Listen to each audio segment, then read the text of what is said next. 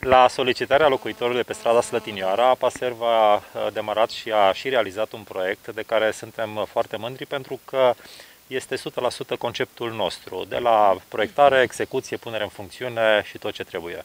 Pe strada Slătinioara sunt aproximativ 30 de gospodării care, începând de astăzi, au apă potabilă uh, din sistemul public de alimentare cu apă a municipiului Petroșani, printr-un sistem modern uh, și uh, o stație de pompe corespunzătoare. Ținând cont de faptul că strada Slătinioara se află la o cotă destul de mare față de restul municipiului Petroșani, a fost necesară instalarea unui grup de pompare profesional pentru alimentarea în bune condiții a locuitorilor de pe această stradă.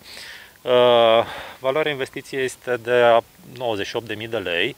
Uh, am realizat 1000 uh, de metri de rețea pentru alimentarea celor 30, aproximativ 30 de gospodării. Chiar o să vedeți și părerea oamenilor de aici, ținând cont de faptul că în ultimii ani, datorită schimbărilor climatice, seceta se face din ce în ce mai resimțită și alimentările individuale pe care le are fiecare în fântâni, în izvoare și așa mai departe, seacă din ce în ce mai mult. Astăzi este o vreme mai ploioasă, că a mai plouat, dar dacă veneam aici în urmă cu câteva zile înainte ca această rețea să fie funcțională, să vedeți ce dificultăți erau în alimentarea cu apă din această zonă zonă. De canalizare putem vorbi aici? Uh, deocamdată rețeaua de canalizare nu este făcută, oamenii au sisteme proprii de canalizare. Am realizat uh, rețeaua de alimentare cu apă, ceea ce cred că este foarte, foarte important. Sisteme proprii de canalizare în sensul că dau apa direct în... Uh, fiecare trebuie să aibă grijă de lucrul acesta și trebuie să își construiască sisteme Uh, acceptate și agreate și este, uh, sunt soluții cu uh, bazine vidanjabile care rezolvă acest lucru. În realizarea unei investiții pe apă sau pe canalizare se țin cont și de niște indici, de,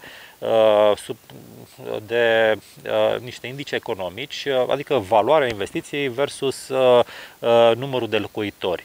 Dacă această valoare depășește un anumit uh, grad, uh, chiar și Uniunea Europeană nu poate finanța uh, zone izolate. Deci aici putem spune de zone izolate privind sistemul de canalizare. După părerea mea, se pretează încă la zonele astea izolate instalații individuale de colectare a canalizării. Ele sunt folosite pe scară largă peste tot. APASER poate să ajute în acest sens să știu, să le facă lucrarea Ce lucrare? de canalizare personală.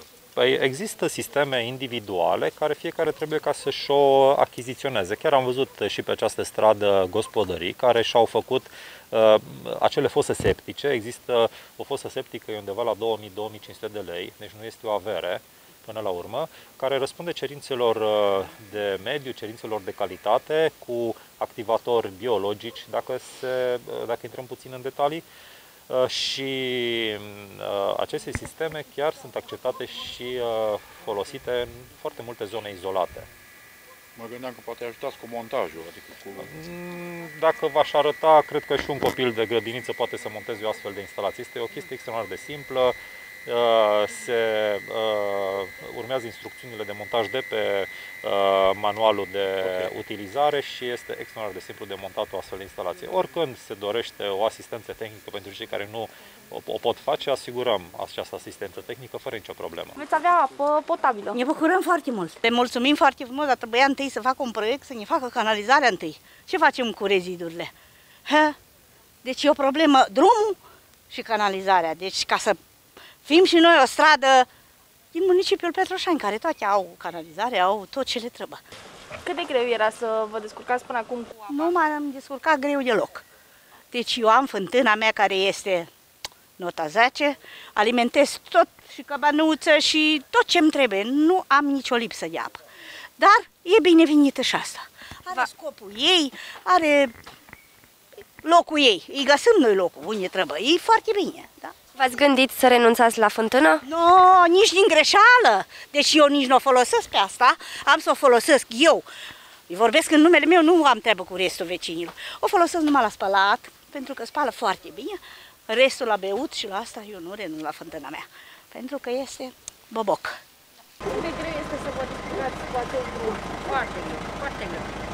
Namolul până în gât, în halul ăsta, vine Iana, vă dați seama, dacă îngheață și ninge, ce se întâmplă aici? Dacă sunt la un curier, nu vine, pentru că e drumul nu se poate dubla. Noi suntem ca și abandonați de, pe vârful munților, ceva de genul. Și pe vârful munților cred că au accesul mai, mai bun ca la noi aici. Ce pot să zic? Urât. Promisiuni și promisiuni.